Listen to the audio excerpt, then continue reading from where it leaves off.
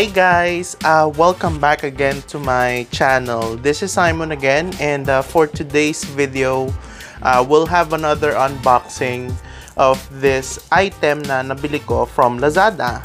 So, uh, if you're not yet subscribed to my channel, kindly hit on the bell icon to subscribe now for more videos like this, like uh, tech unboxing, mukbang, uh, food reviews, and many more. And also, uh, for today's shout out, uh, we have my former um, TL and also co-worker, um, Lenny B. Uh, Miss Lenny Balute. Um, she actually fo focuses her channel uh, on trying to strategize and also um, ang focus niya sa channel niya is um, on pure how-tos and guides para kumita and mag-grow yung career mo online. And also work from home tips and tricks. So if you if you're onto those kind of videos, mga tips on growing your career online and also um, like since ngayon work from home na tips and tricks um, I'll put the her link on the description below for her videos okay thank you so much guys uh, well yeah to start off ito nga I got this um, Mi Bro it's from Xiaomi I think um, from Lazada that I bought it's a smart watch So, Mi Bro Air. So, eh, para siyang subsidiary ni Xiaomi. Or I guess, it's from Xiaomi talaga. Xiaomi Mi Bro Air. It's ultra light and freeware. So, it's a smartwatch um, that you can buy at a very cheap price ngayon. So, ayan. It has some features here.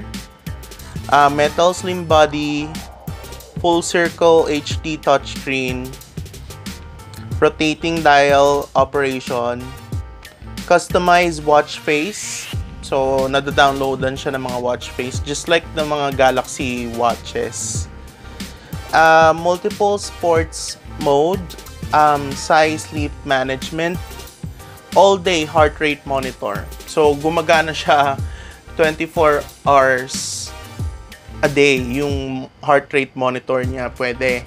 And what's good is that it has a long standby of up to 25 days um, standby time. So, mura ko lang siya nabili. Um, it's just 1,286 from Lazada. And, um, yep, let's try to open it up na. I tried to set it up earlier um, para makita nyo na yung itsura niya nang, nang nakaset up na. So, ayan nga siya. Let's open it up. Ayan. So, you'll be greeted by the watch. Natin. And, ayun, nahulog na. Meron siyang magnetic cable. Ayun. Ito siya.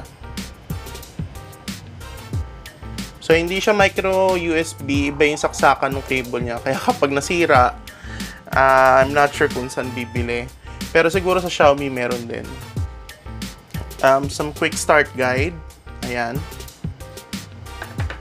Yun lang naman yung laman niya sa loob. So, kunin natin yung watch.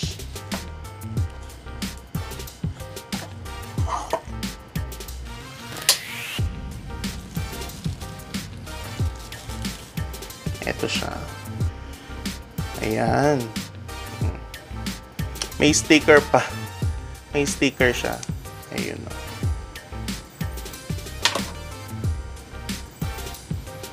So, let's open the watch. Punasan ko lang. So, this is just a quick unboxing nitong watch na ito. Ayan. Mi Bro. Ayun. So, na-setup ko na siya. Initially, ito, ito. Ito yung napili kong watch face. Um, it will show you yung, yan, nag-pair na agad siya sa phone ko. Automatic pairing din siya. It will, it will show the battery life, um, Ito halimbawa kapag nag you're jogging, kung ilang san location mo or gaano kalayo na yung na tatakbo mo, weather, ito yung walking, yung kung ilang steps ka na, and the heart rate monitor sa dulo. Touchscreen siya, so ayan, para siyang ano, sa Apple Watch. Ayan yung mga features niya. Weather, stopwatch, do not disturb, message, data, sport, camera, ito heart rate monitor, music control, settings, timer, find your phone. Tutunog yung phone mo kapag hinanap, pag pinindot mo to, kung saan siya nakakonect. Sleep report, ayan, weather, stopwatch, ayan.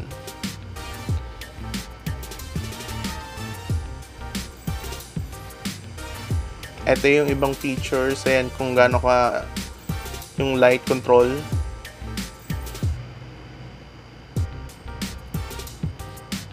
Kung gusto mo mas maliwanag or mas dim.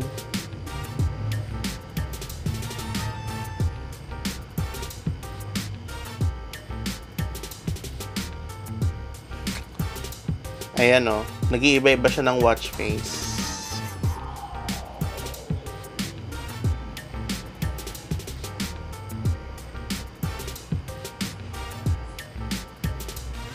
Saan natin may iba yung watch face? Kasi kanina, parang it asked me to, ay sa app. It's on the app. Kasi on the app itself, it asked me to download a watch face. Tapos bigla na lang siyang nag-iba dito. So, ayan, yung buttons niya sa gilid, ito, yun lang. Sa likod, ayan, parang meron siyang sensor for yung heart rate monitor. Ito yung dalawang pin for the charging. Left side wala. Ito yung front. Maganda yung strap niya ha. It's like um, parang rubberized. Ayan siya. Maganda siya. I tried to wear it kanina and it it fits fine sa aking kamay na malaki. It's really good. Maganda siya. I will try the charging niya.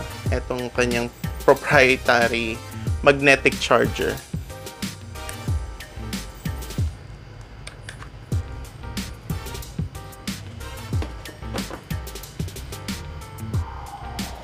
Let's try ito. Ayun o. Oh. Tingnan nyo. Yung charger niya. Nakapin. So, dito sa likod. Namatay yung ating light. Kasi nag-connect tayo ng charger sa power bank. But,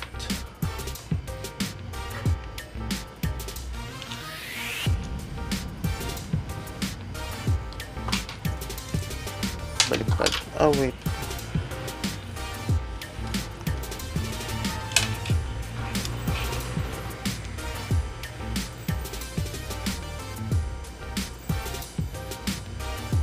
Ayun.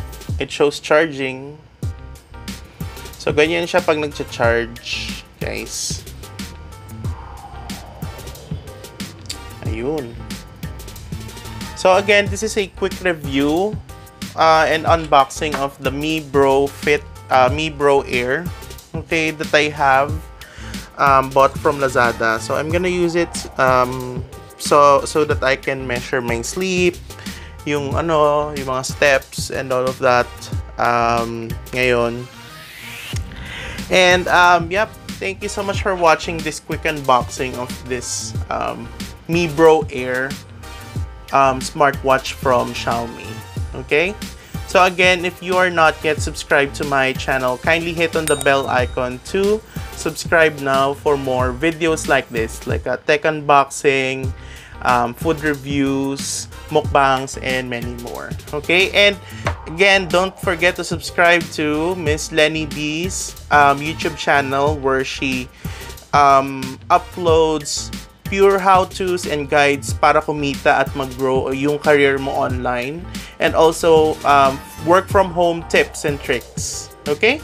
I'll put the uh, her link here and also on the description below this video.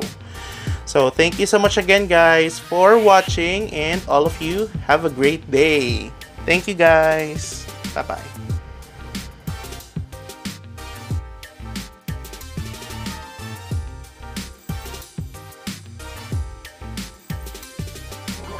like a Hellcat.